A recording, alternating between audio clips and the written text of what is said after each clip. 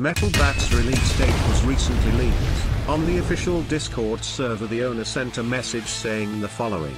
Hi guys, thanks for making the game reach 120k players. I hope you are all enjoying these small little updates compared to the previous chunky updates that took like a month. But the most important part of the message is the last line.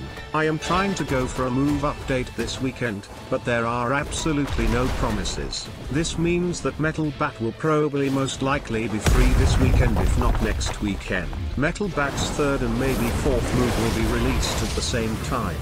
If you want to know what Metal Bat's third move is I have created a video about and I will put the link in the description. Thank you guys for watching, if this information was useful please like and subscribe. See you in the next video.